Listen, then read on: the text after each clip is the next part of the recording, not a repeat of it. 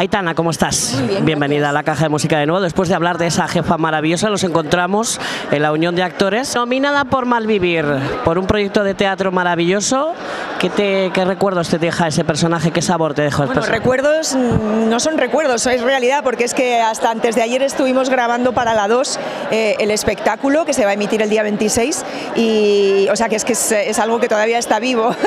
y, y sobre todo el, el placer de haber compartido escenario con mi compañera Marta Poveda, que también está nominada como yo, y es, es- o sea, ojalá nos lo pudiéramos llevar exequo, la verdad, porque, porque es un trabajo de, de dos, mm, de dos siamesas lo que hemos hecho conjuntamente a través de esa, esa pícara del siglo de oro y esa, esas peripecias de esa mujer que superviviente y que, que lucha por salir adelante en, en las circunstancias más adversas. ¿Trabajos así con personajes de esa emocionabilidad cuesta despegarse, cuesta desconectarse de ellos o no? Bueno, creo que estamos muy, muy entrenados. Lo que cuesta es recuperarse físicamente, porque era un trabajo muy, es un trabajo muy físico y de mucho desgaste y de hacer muchos personajes entre dos eh, actrices y, y eso es lo que te, des- en este caso a mí más me ha desgastado, pero también te devuelve mucho. 31 premios de la Unión de Actores, lo decíamos al principio. Tú desde dentro de la profesión, ¿cómo lo ves?